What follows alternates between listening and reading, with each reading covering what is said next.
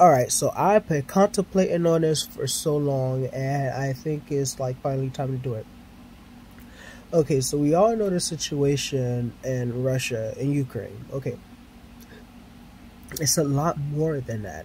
And this has been going on for a while. But I only got like five minutes. Um so we know as of Thursday, February 24th, February 24th, Russia has started to invade Ukraine.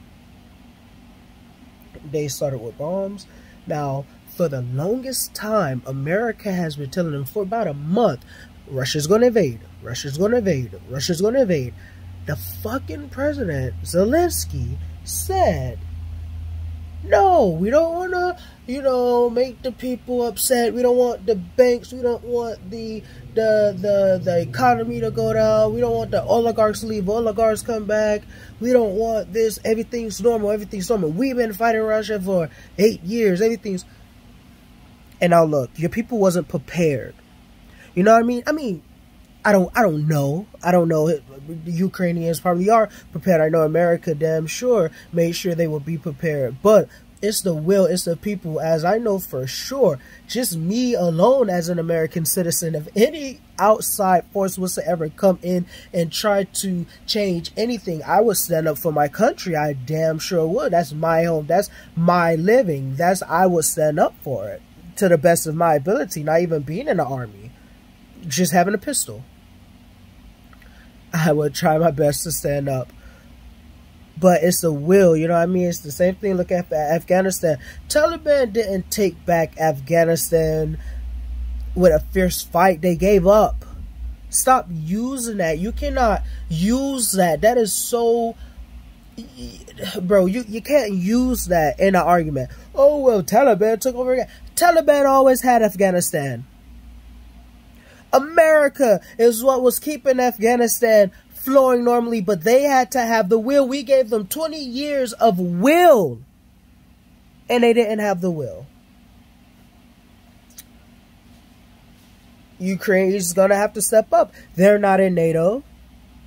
We can't, we cannot attack Russia. We have a pact with Russia. We have equal uh, we have equal, um, no, we have collateral damage. We have equal collateral damage, something like that. If we do anything to Russia, they have the will to do it right back to us. And it will be our fault. And vice versa. But Russia knows if they were to touch any of the NATO countries, once one NATO country is attacked, all NATO countries are attacked. So, of course, Russia wouldn't do that. But Russia wants to get back the Soviet Union. I mean, what he's been president for 20 years? Oh, I'm sorry. He's been dictator for about 11 years, president for 8. We'll just say 8 because I I believe that's what a regular president should be 8 years if you're voted by your people. But let me tell you what I think in the future. You know, let me say first of all, fuck Trump. Okay? Um fuck Tucker Carlson, you little, you, you, you grew up with a fucking golden spoon in your ass. And now you're leading these Republicans straight down to hell.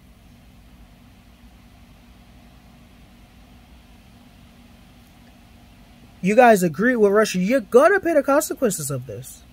This isn't over. You're going to pay the consequences of this. This is going to come back to eat you. And this is what I think is going to happen with Georgia with, um, what's this, Kemp bitch ass.